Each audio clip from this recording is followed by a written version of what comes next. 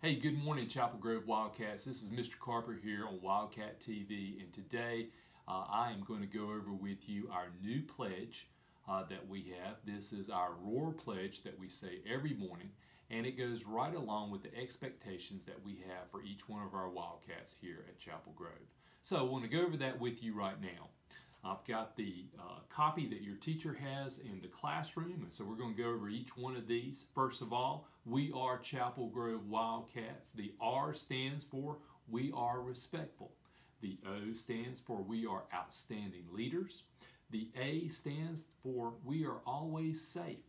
And the R stands for we are responsible. Wildcats roar. We're going to say that each day uh, before we start our day here at Chapel Grove as a reminder of the expectations that we have here at Chapel Grove.